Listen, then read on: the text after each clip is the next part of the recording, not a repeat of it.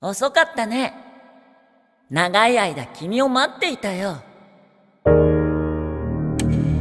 この先へ進むなら、そこに署名を。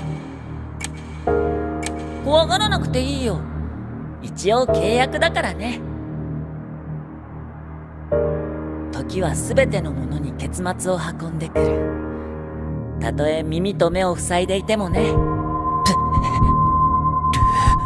さあ、始まるよ。ここが